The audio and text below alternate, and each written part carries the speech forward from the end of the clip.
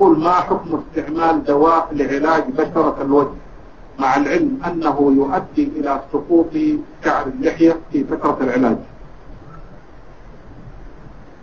لا يتداوى بالشيء الذي يذهب شعر اللحية إلا عند الضرورة. اضطر إلى هذا وكان لابد من هذا لا بس أما إذا كان ما يضطر إلى هذا فإنه يصبر ولا يعالج لا يزيل اللحية